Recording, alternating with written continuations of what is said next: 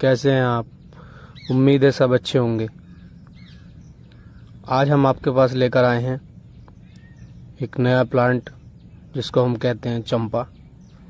अगर उसका अदर नाम जाने तो प्लमेरिया भी कहते हैं हम। और इसके अगर बनावट की बात करें तो बड़ा ही स्पेशल प्लांट लुक लेकर आता है।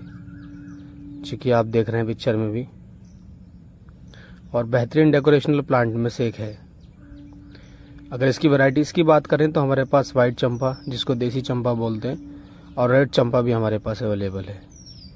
साइज़ का इश्यूज़ नहीं है, अगर साइज़ में, किसी भी साइज़ में चाहिए तो वो भी हम अवेलेबल करा दे अवेलेबल करा देते हैं होलसेल में। आपको अवेलेबल करा दिया जाएगा, अगर किसी भी साइज़ में आपको चाहिए रेड या वाइट चंपा।